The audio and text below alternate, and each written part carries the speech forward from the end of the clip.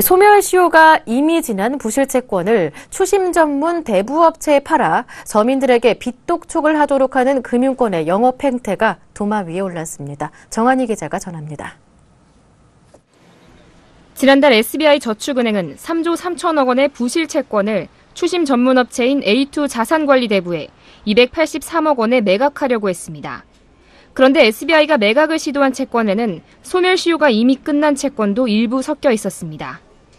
저축은행 입장에서 소멸시효가 다해 아예 돈을 못 받는 부실 채권을 팔아넘기는 것은 이득이 되고 추심 대부업체도 일부 회수를 할 수 있어 이익이 생깁니다. 이 과정에서 더 이상 갚아야 할 의무가 사라진 채무자들만 억울하게 빚독촉을 당하게 되는 것입니다. 범죄의 공소시효가 있듯이 빚에도 소멸시효가 있습니다. 일정 기한이 지나게 되면 더 이상 돈을 갚아야 할 의무가 사라지게 된다는 겁니다.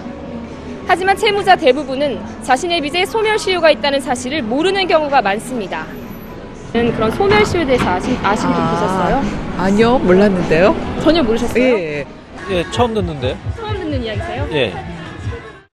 상법상 금융기관에서 대출받은 돈은 마지막 상환일로부터 5년이 지나면 돈을 갚아야 할 의무가 사라집니다.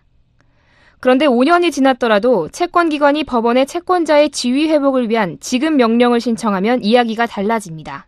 채무자가 이 사실을 통보받은 후 2주 안에 이의 제기를 하지 않으면 자동으로 소멸시효가 10년으로 연장되는 것입니다.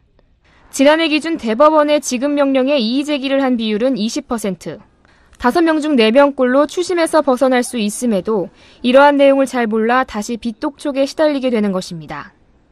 물론 소멸시효가 끝난 채무에 대해 지급 명령을 신청해 채무 기간을 연장하는 것은 합법입니다.